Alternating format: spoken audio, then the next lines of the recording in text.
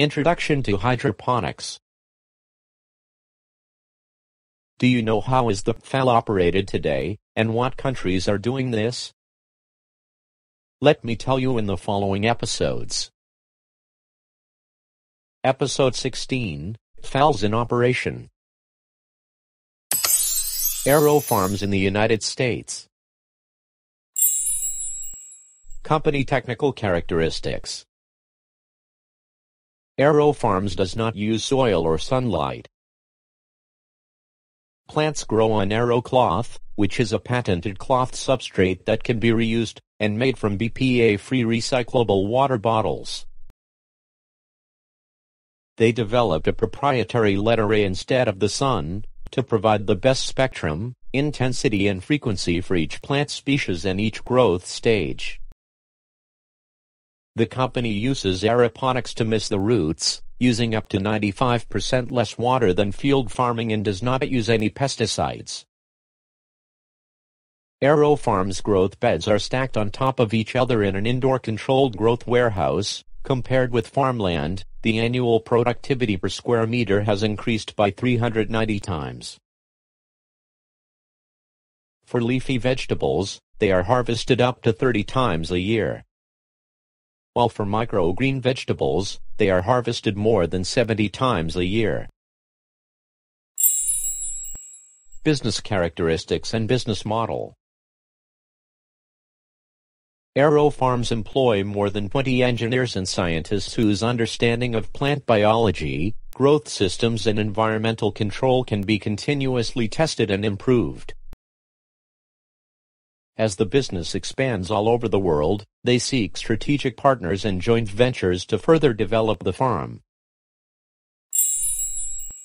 Challenges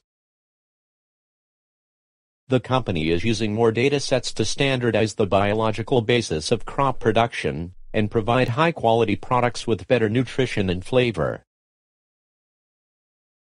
For food safety, the company can track the entire process from seed to packaging, thereby increasing traceability to a new level. Signify facility in the Netherlands. GrowWise Center. Technical characteristics.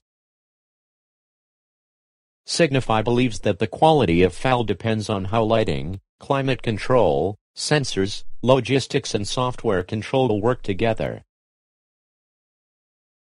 GrowWise Center is designed with an integrated system that allows Signify to optimally control the environment to determine the best set point for what they call the growth formula environment.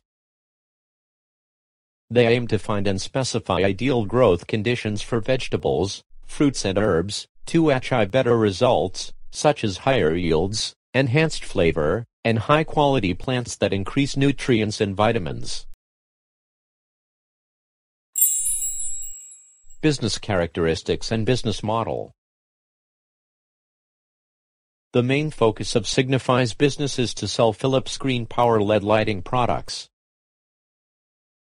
The GrowWise facility is a research center that can accumulate and improve lighting technology for PFAL, and promote its marketing and sales, and ultimately help people through products. Challenges Signify aims to continue research and generate data about lighting systems and how the lighting environment interacts with other cultivation parameters. Looking to the future, they intend to introduce greater flexibility in the lighting system through the application of artificial intelligence technology. Fujian Sun Sino Science Photobiotic in China Company Technical Characteristics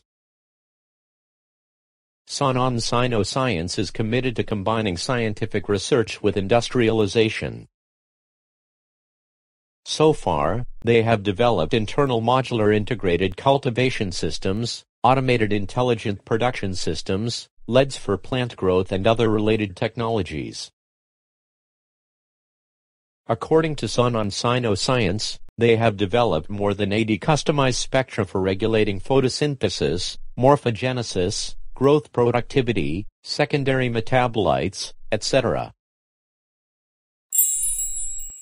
business characteristics and business model. Sanan Science focuses on the development and sales of LEDs, which are used for plant growth, cultivation systems and other technologies related to PFAL. 1. Direct sales of systems. 2. PFAL operation and sales of plants. 3. Research and development. 4. Cooperative investment for PFAL development. 1. Direct sales of systems.